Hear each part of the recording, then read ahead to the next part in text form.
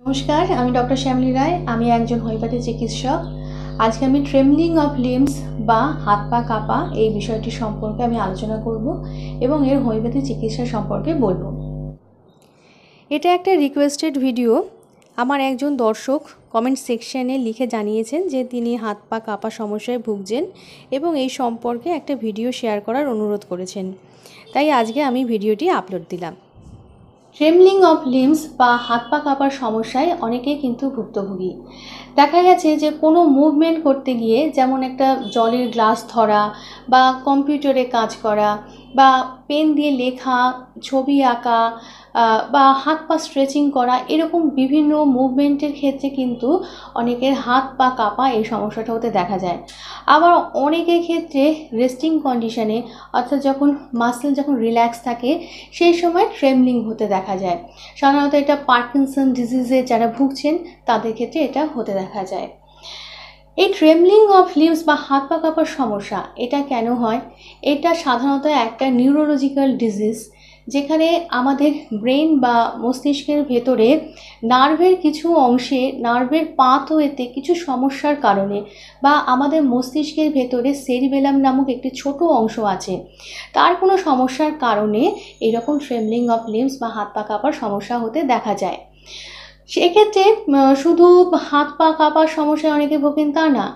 অনেকের মাথা কাঁপে জিভ কাঁপে ভোকাল কর্ড কাঁপে এই কারণে কথা বলার সময় কণ্ঠস্বর বা ভয়েস ট্রেমলিং হয় মানে ভয়েস কাঁপা, এই সমস্যাটা হতে দেখা যায়। অনেকের বডি কোড ট্রেমলিং হয়।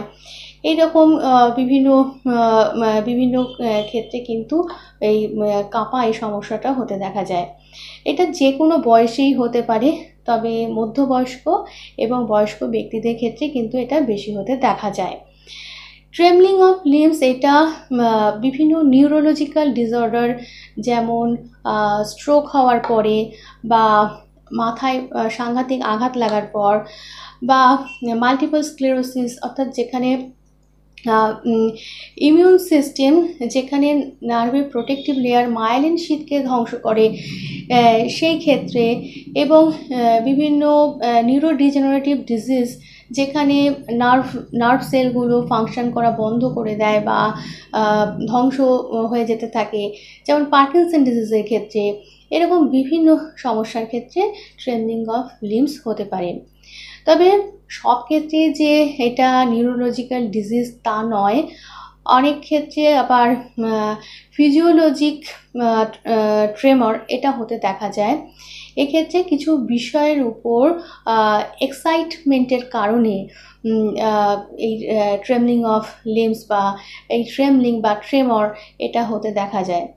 যেমন যারা দীর্ঘদিন ধরে অ্যালকোহল অ্যাডিকশান যাদের থাকে বা অ্যালকোহল উইথড্রল এফেক্ট এফেক্টের কারণেও কিন্তু ট্রেমলিং অফ লিমস হতে পারে।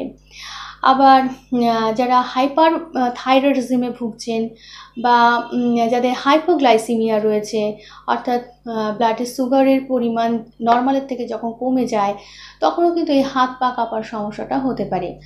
আবার অনেকের অ্যাংজাইটি ডিসঅর্ডার রয়েছে প্যানিক ডিসঅর্ডার রয়েছে, সেক্ষেত্রেও কিন্তু ট্রেমলিং অফ লিমস হতে পারে। আবার অনেকে গ্যাস অ্যাসিডিটি এগুলোর সমস্যায় সাংঘাতিক ভোগেন, তাদের ক্ষেত্রেও কিন্তু এই হাত পা কাঁপার সমস্যাটা হতে পারে। তো এই সমস্যাটার ক্ষেত্রে হোমিওপ্যাথি কীভাবে এই সমস্যাটার সমাধান করতে পারে, আমি এরপরে আলোচনা করছি। প্রথমে প্রপারলি কেস টেকিং করতে হবে এবং এরপরে ইনভেস্টিগেশনের মাধ্যমে প্রপারলি ডায়াগনোসিস করতে হবে। এর জন্য complete haemogram, LFT, lipid profile, MRI ইত্যাদি টেস্টগুলো করতে হবে এবং এরপরে লক্ষণভিত্তিক চিকিৎসা করতে হবে। অনেক মেডিসিন রয়েছে, যেমন অ্যাগারিকাস মুসকেরিয়াস। এই মেডিসিনটা এসেন্সিয়াল ট্রেমারের উপর খুব ভালো কাজ করে। এখানে মাথা কাঁপা, হাত পা কাঁপা, জিভ কাঁপা, এই সমস্যাগুলোর উপর এই মেডিসিনটা খুব ভালো কাজ করে। আরেকটি মেডিসিন অ্যালুমিনা এটা spinal degeneration and paralysis of lower limbs এর উপরে খুব ভালো কাজ করে। পায়ে প্রচণ্ড দুর্বলতা, বিশেষ করে পেশেন্ট যখন বসে থাকে সেই সময়, এবং হাত পায়ে দুর্বলতা এইটা অ্যালুমিনা এর উপরে অ্যালুমিনা খুব ভালো কাজ করে। আরেকটা মেডিসিন হচ্ছে আর্জেন্টাম নাইট্রিকাম এটা রিজিডিটি অফ ক্যাপস মাসলের উপর খুব ভালো কাজ করে, পায়ে খুব দুর্বলতা এবং পেশেন্ট চোখ বন্ধ করে হাঁটতে পারে না। এই সমস্যাগুলোর উপর খুব ভালো কাজ করে। আরেকটি মেডিসিন জেলসিনিয়াম এটা টাং ট্রেমলিংয়ের উপর খুব ভালো কাজ করে এবং ইমোশনাল এক্সাইটমেন্ট বা ভয়ের কারণে যাদের হাত পা কাঁপে, এই সমস্যাটা যাদের থাকে, তাদের ক্ষেত্রে কিন্তু খুব ভালো কাজ করে। এছাড়া আরও অনেক মেডিসিন রয়েছে, যেমন কস্টিকাম ককিউলাস কোনিয়াম এবং hypericum hyoscyamus ignatia phosphorus zincum met and sepia secale cor ইত্যাদি অনেক অনেক মেডিসিন রয়েছে এবং পেশেন্টের যেমন যেমন লক্ষণ থাকবে সেইভাবে মেডিসিনগুলো আসবে। আজকে আমার আলোচনায় এই পর্যন্ত। সবাই ভালো থাকুন, সুস্থ থাকুন এবং ভিডিওটি দেখার জন্য অসংখ্য ধন্যবাদ।